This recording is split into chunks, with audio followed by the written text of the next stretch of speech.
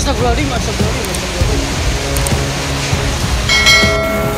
Lokasi terkini di depan BRI Cijantung, pohon tumbang ke jalan raya Jam.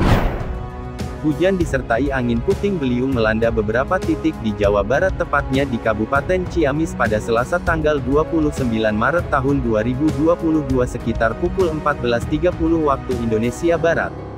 Dalam beberapa video yang beredar di media sosial, kencangnya angin tersebut membuat sejumlah pohon dan pemukiman warga mendapatkan hantaman dahsyat dan beberapa di antaranya harus rusak karena tak mampu menahan dahsyatnya hantaman angin.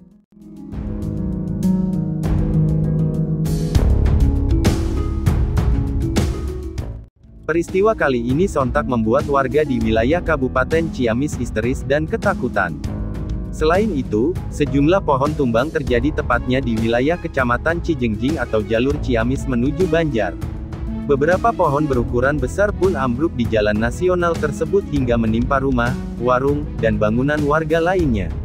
Tak tinggal diam, petugas BPBD Ciamis dibantu petugas damkar dan masyarakat sekitar berjibaku mengevakuasi pohon tumbang usai angin tersebut mereda.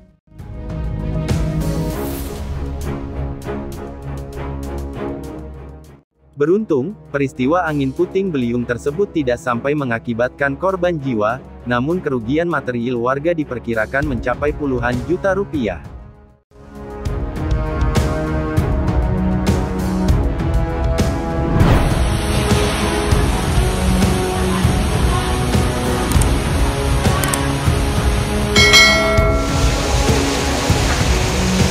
Astagfirullahaladzim, astagfirullahaladzim.